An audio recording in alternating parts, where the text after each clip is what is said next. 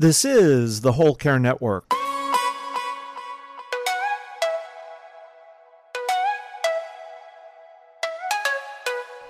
Helping you tell your story one podcast at a time. Content presented in the following podcast is for information purposes only. Views and opinions expressed in this podcast are solely those of the host and guest and may not represent the views and opinions of the Whole Care Network. Always consult with your physician for any medical advice and always consult with your attorney for any legal advice. And thank you for listening to the Whole Care Network.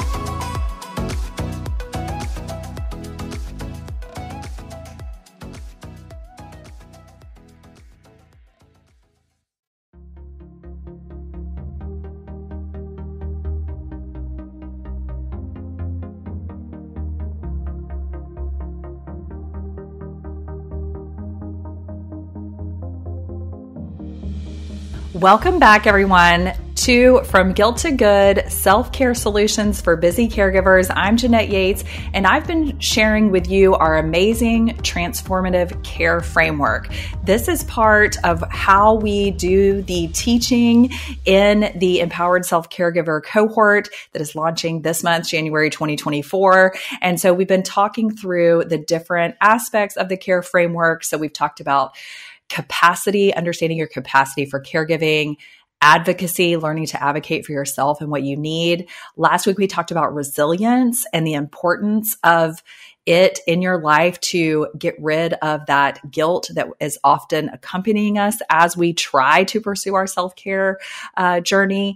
And then today, we're talking about the most fun part of the care framework. Well, I think it's all fun, but uh, today we're talking about the E in the care framework, which is enjoyment.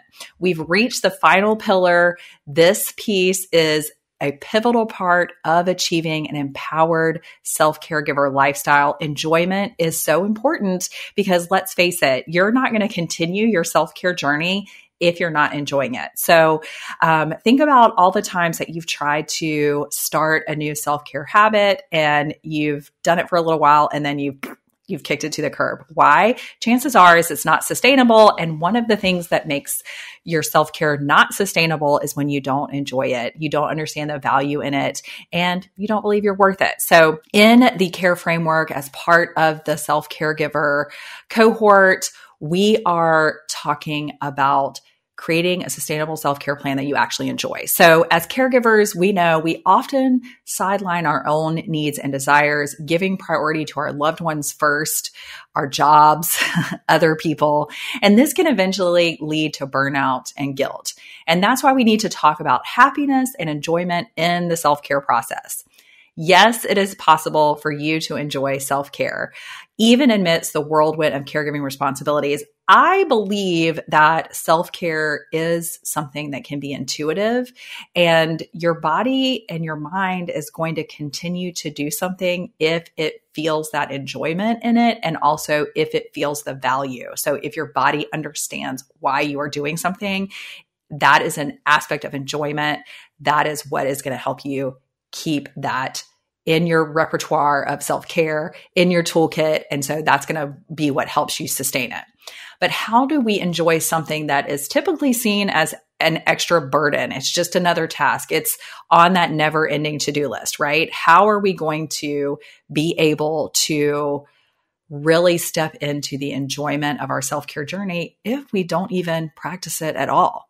The secret lies in our perception of self care. True self care isn't a chore, but a celebration of kindness toward oneself. You know, I recently, I don't typically do a word of the year.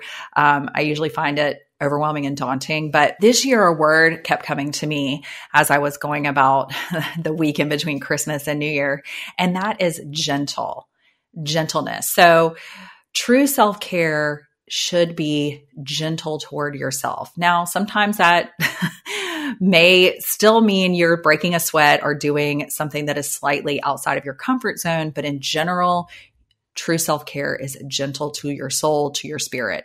It's about rediscovering the small joys in life, the instances that make you feel good, recharged, and fulfilled, not guilty. It's embracing activities that cater not only to your physical needs, but also your emotional and mental wellness. It's designing personalized strategies flexible enough for your busy life, making you wake up each morning with that enthusiasm and enjoyment, that hope in each day. Because caregivers, we need that hope in each day. We need to know that we have control over our day, even if it's only in terms of our own self care.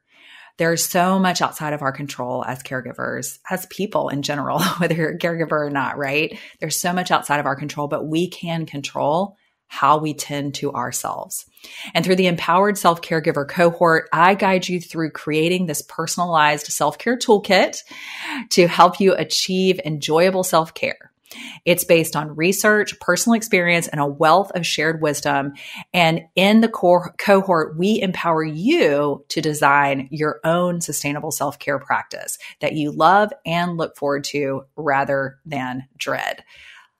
You get to decide what self care is to you. Now, yes, you will have the guidance and training from me and other self care experts um, inside the cohort, but you get to decide. It is within your control, your power. You are empowered to create your own self care toolkit, your own self care practice that's sustainable and enjoyable for you. Celebrate your journey to a balanced, empowered life where both you and those you care for thrive and experience enjoyment. You'll go through each day, even the most chaotic and unpredictable, feeling content and confident, knowing your well being matters just as much as those you care for. So join me in the next episode where I'll delve deeper into some of the practical strategies, just give you a little taste that uh, we use throughout the empowered self caregiver cohort. We'll talk about some of the strategies that you learn as part of the care framework and what you can expect as an empowered self caregiver cohort member. If mentorship, training, community support, and actionable steps, workable techniques is something that you're interested in, if you want to take control of your own self care, consider joining the Empowered Self Caregiver cohort. It is created especially for you, my caregiver friend. Don't go through another year feeling hopeless and guilty and like you have no control. You do have control over you. I'm excited and ready to accompany you on this transformative journey. Let's make this change today. Let's make it together. Empower your life and redefine self care and caregiving one step at a time.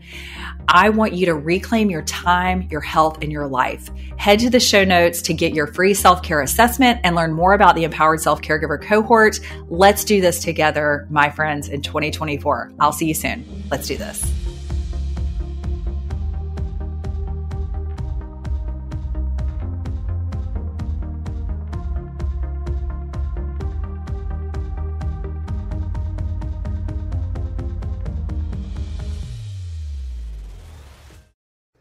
This is the Whole Care Network.